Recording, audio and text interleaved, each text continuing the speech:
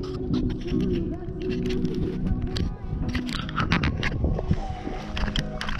got my GoPro too.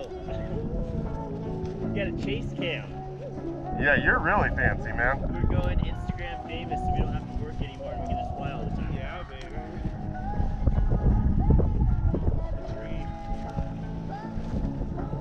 Yeah, you probably heard of me. I'm, I'm an influencer.